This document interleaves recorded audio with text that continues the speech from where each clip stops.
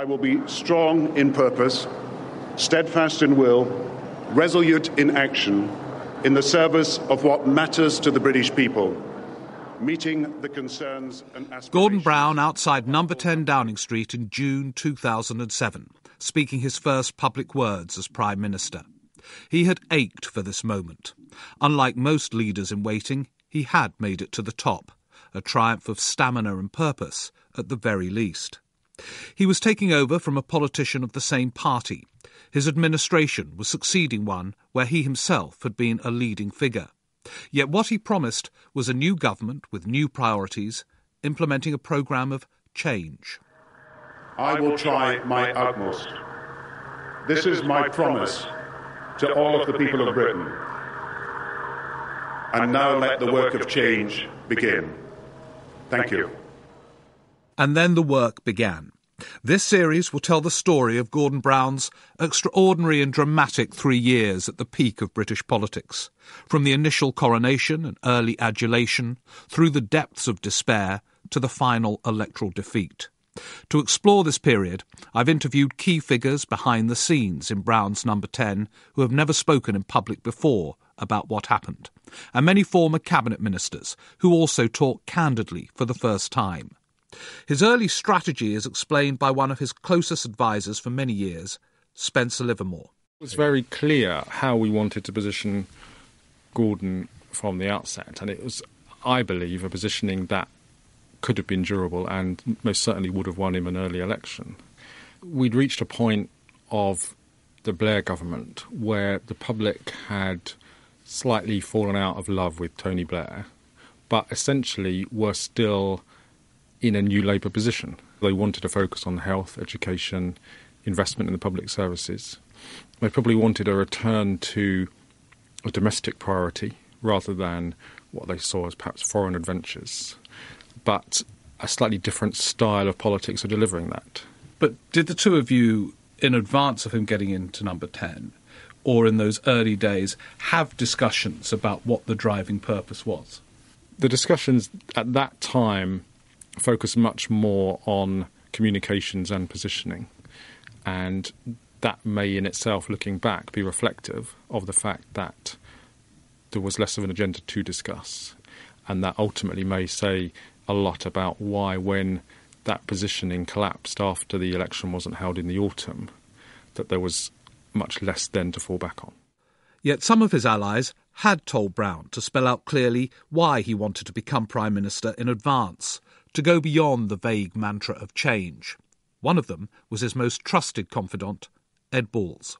In those months before becoming leader, I think he was sort of, in some ways, more concerned to deal with some of his negatives than to set out the, the positive. I think he was always worried that he would be seen as too much the, the Labour figure, the person who historically had been supported by the trade unions. He'd obviously had many conversations with um, people, including Tony Blair, about the importance of appealing across the spectrum of newspapers. And I said, it's good to do um, speeches about security and aspects of foreign policy, areas where you've had obviously less involvement in, in government, but you've also got to set out the divining purpose of your um, premiership when it comes. And, and I said I thought he should remake that case for modern social justice. And he didn't do that in those months before. And to be honest, it was, it was something we talked about a number of times. It was, it was frustrating that he didn't. Why do you think he didn't? Because he'd been in government a long time, I think he sort of thought everybody knew who he was already. And because he thought they knew who he was already, he had to deal with their doubts and their questions. People had seen him as a chancellor, but they hadn't actually really yet seen him as a leader. What drove him and what were his values? And that was something which I think he didn't do enough to set out in the months before and the first uh, period of his leadership. Brown's first task was to pick his cabinet colleagues. The way he made appointments was true to his character, as David Miliband discovered. One of his most attractive features is how he is not a person who stands on ceremony, but that can bring a, a, certain relaxed nature to what should be momentous moments. I was actually at home uh, the night before he took office, and I got a message that he'd like to have a phone call. And he said, Would you like to be Foreign Secretary? And so I said, Yes. And he said, Well, that's, that's very good. That sounds excellent. and he said, "Well, you can walk up Downing Street if you like and come and meet me tomorrow, but I'm not sure if it's worth bothering." So he didn't make it a great sort of occasion where we agreed our five-year foreign policy strategy. I was sitting in my kitchen, and uh, it wasn't a moment of great ceremony. But once his team was in place, what from the start did he actually want them to do? This initial thinking, or lack of it, raises some of the most intriguing questions of Gordon Brown's premiership. He set out to address negative perceptions with a determined focus, as Alan Johnson discovered when Brown made him Health Secretary.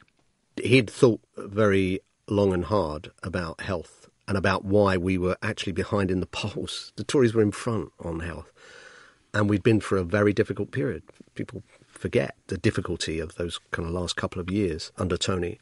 He set out a very clear strategy. He was amazingly lucid in what he wanted to see. And there were four or five things, all of which were really important. So he set that out very clearly, the job specification that took me over the next two years. But some other colleagues were less impressed by the range of his thinking. Peter Hain was given the post of Welfare Secretary. He wanted me to make sure that many more lone parents were brought off a passive benefit to what I called an active benefit and into the world of work. Beyond that particular specific issue that he mentioned, which was important but rather random, there was no other welfare agenda described in detail to me, other than this is where his perhaps uh, unfortunate phrase, British jobs for British workers, came from his instinct that we needed to get people off welfare, filling those jobs that were out there, rather than those jobs being filled by migrants from Europe or outside Europe. But the fundamental question that arose was how joined up his thinking was. Nick Pearce was one of Brown's key advisers in the Number 10 policy unit. The basic problem at that time was that much of Gordon's agenda had been defined in opposition to Blair's, and that meant that it had some definition in respect of things like constitutional and democratic reform, uh, new ways of thinking perhaps about public services, a more measured approach perhaps to foreign policy, and so on. But what it didn't equip him with was a sort of master narrative. And that was absolutely clear that um, whilst there was detail in some areas, there were you know major new announcements on housing, on the governance of Britain, and so on.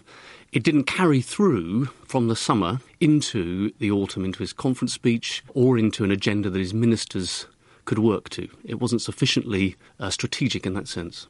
As Brown's cabinet got down to business, they noticed differences from his predecessor's way of working. Alan Johnson, followed by Jack Straw.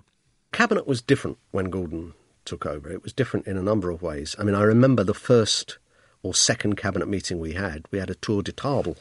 Everyone was encouraged to say their bit. Now, you know, Tony, for all his huge talents, wouldn't sit for more than, you know, half an hour at cabinet if he didn't need to. We hope you enjoyed this preview. To continue listening to this audiobook on Google Play Books, use the link in the video description.